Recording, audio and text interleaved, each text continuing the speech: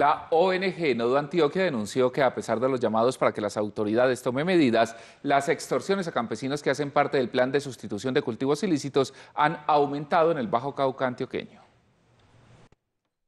Unas 3.000 familias del Bajo Cauca antioqueño hacen parte del programa de sustitución de cultivos.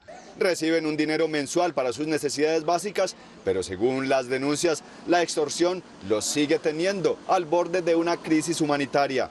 Cada familia tiene que dar el 10% del recurso que le otorga el Estado por el programa de sustitución voluntaria y ese 10% equivale a 200 mil pesos.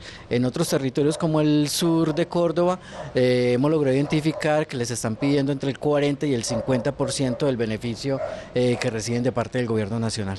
El vocero argumenta que la llegada de la Fuerza de Tarea Aquiles del Ejército, a pesar de los operativos en la zona, no ha sido capaz de controlar la extorsión a los campesinos.